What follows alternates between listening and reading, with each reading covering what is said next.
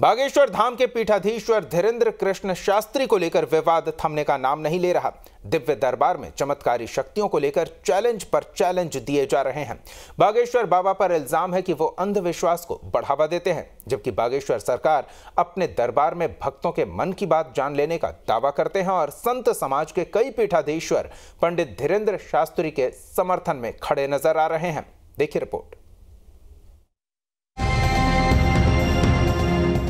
सनातन धर्म को बचाना है तो please I request all of person मेरी प्रार्थना है चादर और फादर से दूर रहे। कितनी भी मिशनरियाँ हमारे पीछे लग जाएँ हम डिगने वाले नहीं हैं हम डरने वाले नहीं हैं क्योंकि हम हिंदू शेर हैं।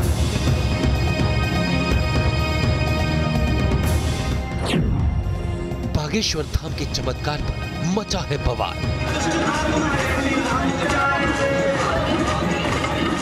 अब भारत में रहना होगा तो सीताराम कहना होगा।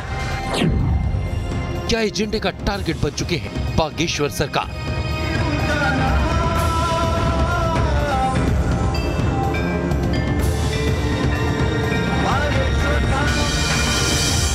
हम सनातनी हिंदू हैं हमारे अंदर हिंदू का खून है। हम जब तक जिएँगे तब तक सनातन एकता के लिए बोलते रहेंगे।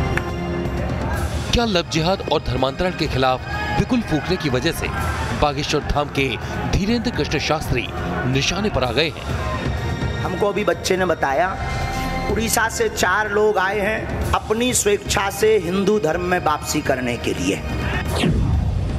लव जिहाद पर बागेश्वर सरकार का प्रहार। हमारे सनातन धर्म को मिटाने के लिए कुछ असामाजिक तथ्य एक जिहाद चला रहे हैं जिसे लव जिहाद कहा गया। हमने किसी के लिए कोई टिप्पणी नहीं कर रहे हैं। हम हिंदू सनातनी बेटी बहनों से निवेदन करेंगे मेरी बहनों मेरी बेटियों एक बात आज से तुम गांठ बाँध लेना मर जाना और कभी भी माता पिता की आज्ञा के बिना दूसरे धर्म में विवाह मत करना। धीरेन्द्र कृष्ण शास्त्री हनुमान जी के नाम पर लोगों की समस्याओं को जान लेने और उन्हें दूर करने का दावा करते हैं। लेकिन आप ठीक हो जाएँगे और हनुमान जी आपकी सुरक्षा के लिए अपना वरद हस्त आपको देंगे हमें अपने इष्ट पर ऐसा भरोसा है। यही वजह है कि बागेश्वर से लेकर उनके दिव्य दरबारों में हर दिन हज़ारों लाखों अनुयायी आते हैं। दरबार के ऊपर उंगली उठाते थे वो आज आँख खोल कर देख लें दरबार। लेकिन कथा पंडाल में बागेश्वर वाले बाबा हिंदुत्व विरोधियों पर भी खुलकर बोल देते हैं ताल ठोकते दिखते हैं। कल आ जाए कोई। किसी को अगर दिक्कत हो तो कल आ जाए। और उनको बुला रहे हैं जिन्होंने हमको चुनौती दी थी उनकी ठट तो क्या इसी वजह से वो अब निशाने पर आ गए हैं? या फिर वाकई धर्म कर्म की आड़ में अंधविश्वास फैलाते हैं? क्योंकि जादू टोना और अंधविश्वास के आरोपों से शुरू हुआ मामला धर्मांतरण तक पहुँच गया है। दूसरे धर्म का व्यक्ति रिफाइंड ऑयल, रिफाइंड के तेल में हाथ डाल दे। फिर तिल के बोरा में हाथ डाल दे। जितने हाथ में तिल छप जाए, उतनी बार भी कोई सौगंध खाए, तब भी एक तिल बराबर विश्वास मत करना। ये हम नहीं कहते हैं। ये हमारे वाक्य नहीं है। महाराणा प्रताप के वाक्य हैं। देश में सनातन धर्म बनाम ईसाई इस्लाम पर चर्चा तेज हो गई है। बागेश्वर धाम बाबा के समर्थन में संत समाज और हिंदू संगठन से जुड़े लोग खुलकर सामने आ चुके हैं। जगत गुरु शंकराचार्य स्वामी सदानंद महाराज ने कहा कि अगर कोई हनुमान जी का, दुर्गा जी का या फिर किसी और शक्ति से किसी को ठीक कर देता है तो इसे कोई कैसे अंधविश्वास कह सकता है? दस दस हज़ार की भीड़ के सामने वो करते हैं कैसे उसको अंधविश्वास कह सकते हैं? अंधविश्वास का प्रमाण क्या है? प्रमाण के बिना तो कोई वस्तु सिद्ध हो नहीं सकती है। आप खुद प्रश्न लेकर के चले जाइए। अगर आप में सत्यता है, आप में हिम्मत है, आप में आत्मबल है, और आप बिल्कुल सत्यता की परीक्षा करना चाहते हैं तो आप खुद जिज्ञासु बन करके चले जाइए, और वो आपकी जिज्ञासा पर खरे उतरते हैं कि नहीं उतरते पता चल जाएगा। विवाद के बीच बागेश्वर धाम के पुजारी धीरेन्द्र कृष्ण शास्त्री ने वामपंथी और ईसाई मिशनरियों को निशाने पर लिया और उन्होंने कहा कि कोई भी ईसाई हमारे सामने चमत्कार करके दिखाए, नहीं तो सनातन धर्म की शक्ति को स्वीकार करे। बाबा बागेश्वर का कहना है कि वह धर्मांतरण के खिलाफ आंदोलन कर रहे हैं। दूसरे धर्म में गए लोगों की घर वापसी करा रहे हैं। इससे वामपंथी लोग विचलित हो गए हैं।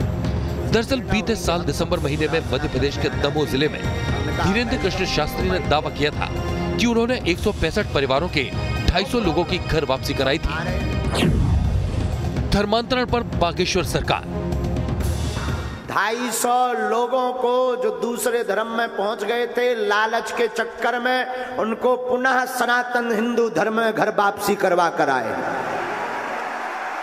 ये वही दमोह है जहाँ आज से कुछ दिन पहले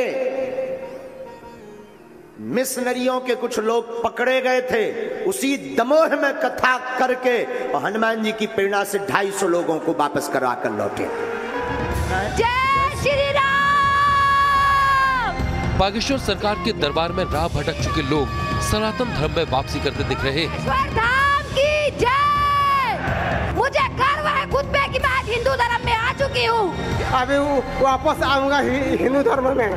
एक दिन पहले भी कुछ उड़िया परिवार के लोगों को बाबा के दरबार में सनातन धर्म अपनाते हुए देखा गया है जो लालच और डर की वजह से मिशनरी साजिश के शिकार हो गए थे। क्या आपको किसी ने यहाँ बुलाया है दादाजी? नहीं बुलाए नहीं हम लोग खुद आया क्या नाम है? गजानन जान। कहाँ से हो? उड़ीसा से। उड़ीसा से हो। हो। तो आप क्यों फिर से कौन से धर्म में चले गए थे आप? हम लोग क्रिश्चियन के धर्म से चला गया था। अभी वापस आऊँगा हिंदू धर्म में।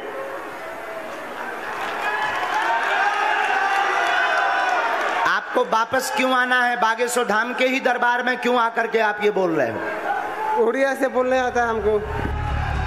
बागेश्वर धाम के धीरेन्द्र कृष्ण शास्त्री का कहना है कि वो बाकी धर्म के लोगों की तरह भूत प्रेत हटाने का दावा कर किसी का शोषण नहीं करते, बल्कि उन हिंदू लोगों की घर वापसी करा रहे हैं, जो दूसरे धर्म में चले गए हैं। इसके अलावा धीरेन्द्र कृष्ण शास्त्री लव जिहादियों के खिलाफ भी सनातनी बेटियों को जागरूक करने का काम करते नज़र आते हैं।